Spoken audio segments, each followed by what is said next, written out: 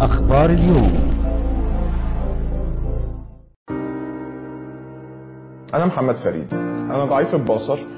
بشوف شوية بس يعني يكاد أكون كفيف يعني بفرق ضوء من ضلمة. ممكن أشوف زي خيالات قدامي. آه عندك حاجة بتصعب لك الموضوع بس مين ما عندوش حاجة بتصعب له الدنيا شوية. آه ساعات مثلا كانوا بيعملوا حركات بقى العيال اللي هو واحد مثلا يجي يضربني كده من ورا ويطلع يجري والكلام ده. بس يعني عادي أي طفل في اطفال ساعات الناس بيغلسوا عليها. مش حاجة تفرق كتير عن أي طفل تاني في على الأقل في الجزء الاجتماعي. ماشي كنت بتغاظ إني ما أقدرش ألعب كورة مع أصحابي بعد مثلا لحد مثلا ثالثه ابتدائي أو رابعة ابتدائي كنت بعرف ألعب بعد كده. الكوره ابتدت تمشي أسرع فالموضوع كان أصعب شوية. أنا شايف إن المستقبل في إيد مصر. إحنا دلوقتي في وزارات وفي ناس بتحاول تشتغل إنها تغير المناخ المناخ العام عن الأعاقة وتحاول تظبط الحاجات دي وإحنا ممكن نكمل. ما حدش بيوصل لحاجة لوحده. حتى الحد اللي ما عندوش أي احتياجات خاصة ما بيوصلش لحاجة لوحده. تخيلي إن أنت عشان تغير المناخ العام هو أهم حاجة عندك إن يبقى فيه امثله إحنا آخر مثال واحد ضعيف البصر تفوق كان معرفش هو طه حسين كان وزير التعليم سنة كام. فأنتوا ما ينفعش الناس تقعد تفكر إنها ده معاق فمش هيعرف ينجح والكلام ده. لأ أنت اديه فرصة وشوف هو هينجح ولا لأ لأن تأكد إن الحاجات الصعوبات اللي هو واجهته خليته بقى أقوى بكتير من ما أنت متخيل. درست هندسة أنظمة في كندا واشتغلت مطور برمجيات لمدة سنتين في كندا وفي أمريكا وفي الهند. بعد كده اشتغلت مستشار لاستراتيجيات في شركة ماكنزي ومؤخرا لسه متخرج من جامعة هارفارد. كنت بعمل ماجستير في إدارة الأعمال.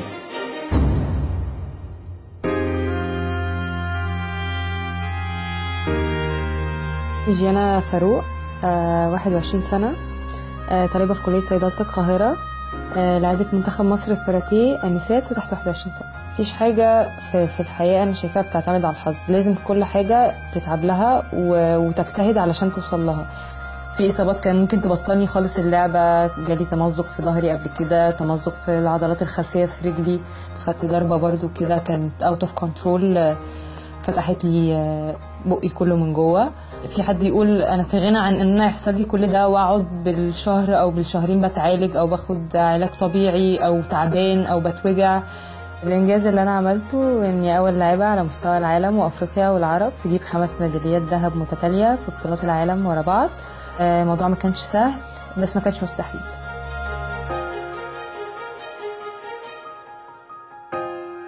أنا نادر نشأ سمير 25 سنة. أنا mechatronics engineer. يعني حصلت على البكالوريوس من مصر. بعد كده حصلت على منحة من الاتحاد الأوروبي إن أنا أعمل دراساتي العليا في أوروبا. حصل على اثنين ماجستير واحد في space technology من السويد واحد في space techniques instrumentation من تولوز في فرنسا الفترة اللي فاتت جمعت خبرات كتيره قوي وكان نفسي ارجع الخبرات دي مصر ويعني أساعد الشباب والناس اللي في سني إن إحنا يعني نرفع مستوى التفكير والأبحاث والتكنولوجي في البلد. الشباب في مصر لو أتيحت لهم نفس الفرص اللي أتيحت في أوروبا من ناحية مستوى التعليم والمناخ اللي بيساعدهم على على الريسيرش والحاجات دي هيحققوا نتائج هايلة إن ما كانتش أحسن من أي حد تاني. في الفترة اللي جاية لما هنقدر نركز على حاجات كتير زي التعليم والتكنولوجيا وتطوير حاجات كتيرة في البلد هنقدر يعني شوية شوية نوصل للحلم ده. مصدق قوي إنه الشباب هتقدر هيقدروا يعملوا تغيير كبير في البلد وهيقدروا يعملوا تغيير كبير يعني في مصر ويمكن في العالم كمان. أنا اسمي أسامة طه مصطفى طالب بالمدينة العلمية الروسية. أنا عندي 20 سنة. كل ما الإنسان بيواجه صعاب أكتر أو بيواجه مشاكل أكتر عمره بيتضاعف أكتر. كل الإمكانيات المادية اللي بتكون متوفرة في إيديا أو أو بقدر إن أنا أجيبها بتصرف على الأبحاث والاختراعات. والدتي قضت حياتها كلها معايا. حتى لدرجة إن أنا وصلت إن ممكن تبيع دمها عشان خاطري إن أنا أقدر أكمل في الطريق ده. حياتي كشاب استغنيت عنها في مقابل إن أنا أقدر أستمر بقوة في الطريق ده. 24 ساعة في, في الأوضة دي للاختراعات والأبحاث. صاحب ال 25 اختراع أهم اختراع عملته هي واحدة بيتم تركيبها على السيارات أو المولدات إنها تشتغل بالميه بدل البنزين الاختراع ده موجود في في أمريكا وموجود في ألمانيا. أما الفرق اللي إحنا عملناه إن الهيدروجين بيخرج مباشر من المية بيتحرق على طول فما فيش أي risk يعني. ممكن نستخدم الوحدة دي بدل الغاز الطبيعي ممكن نستخدمها بدل البنزين ممكن نستخدمها بدل انابيب البوتاجاز أو اسطوانات الغاز.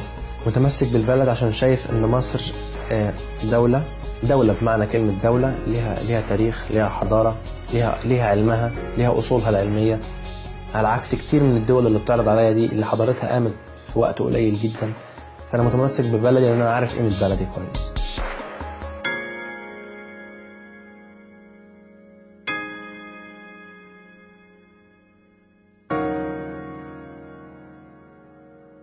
أنا رشا كردي مدرس مساعد في كلية تجارة جامعة حلوان وقسم اقتصاد. معايا ماجستير في آه، بيركز أكتر يعني على عجز الموازنة في الدولة وطرق العلاج وتمويله.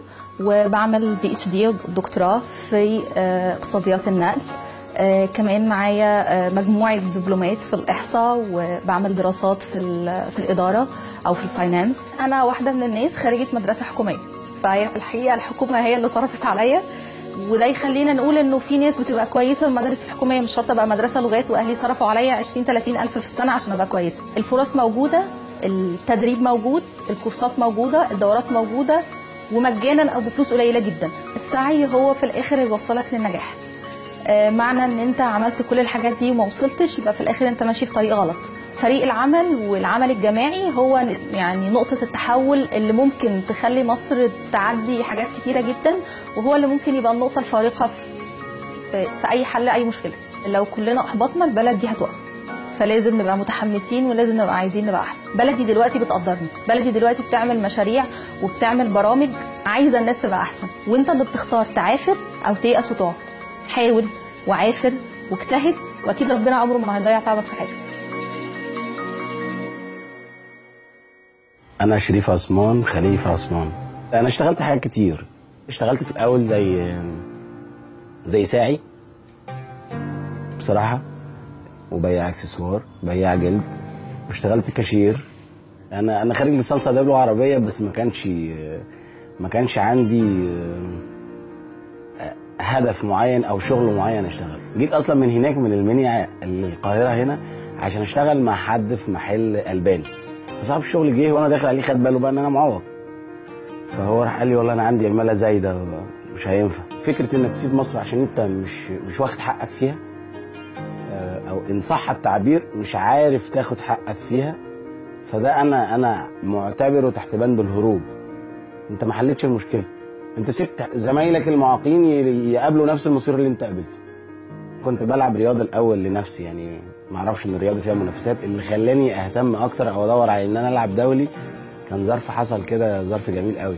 وأنا لسه في بدايتي في النادي كان بيعملوا كل كل سنة اليوم العالمي للطفل المعاق. دي بالنسبة لي كانت نقطة تحول لأن أنا قاعد والناس كلها بتسقف وفي ناس ماشية لابسة بدل و... والسلام الجمهوري و... وبوسترات كبيرة. فبسال حد جنبي قديم في اللعبة فبقول له إيه اللي إيه مين الناس دي وليه ماشيين كده؟ وليه مشغل لهم السلام الوطني يعني؟ هم محاربين طيب ولا إيه؟ في إيه؟ أنا مش عارف فعلا أنا فعلا ما كنتش عارف.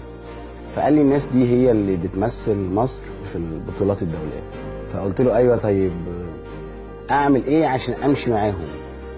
فهو ضحك قلت له طب إيه رأيك بقى؟ السنة الجاية في نفس اليوم أنا همشي في التراك ده مع الناس دي. بقى عندي هدف. كنت بتمرن ثلاث أيام في الأسبوع بقيت أتمرن ستة. ما بقتش أفكر غير في التمرين. مثبت ومثبت ومثبت في حلمي أي حاجة البني آدم عايز يعملها بتلاقي كل الظروف اللي حواليه بتساعده إذا هو عنده الرغبة الحقيقية إن هو يعملها. يعني بقى لي 10 سنين تقريبا ما عملتش غير ميدالية فضة واحدة والباقي كله ده.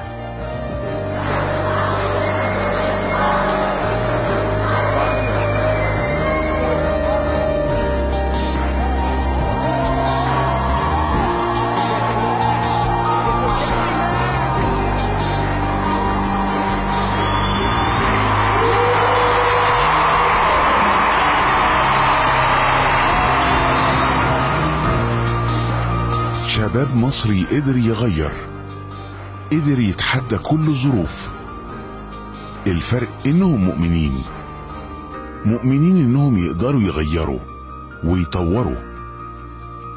بأفعالهم مش بكلامهم.